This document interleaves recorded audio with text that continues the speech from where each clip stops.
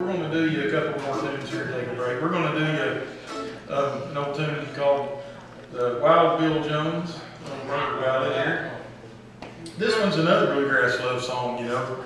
There's a, you know, some, some bluegrass love songs you write because you miss her so bad now that you killed her, you know. And, and then, then there's your variety of bluegrass love songs where you ask her to marry you, she says no, so you drag her down to the river and beat her with a stick and, you know, and then you kill her. And, uh, and, and this, this one is the variety of bluegrass love song where, um, you know, there's also the variety of bluegrass love song where you ask her to marry you, she says no, so you kill yourself, you know.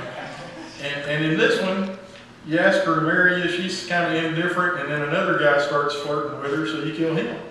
That's kind of the way, you know. Somebody's gotta die. Bluegrass love songs, they get some pretty multi-textural kind of uh, stories there. You know, they get pretty deep.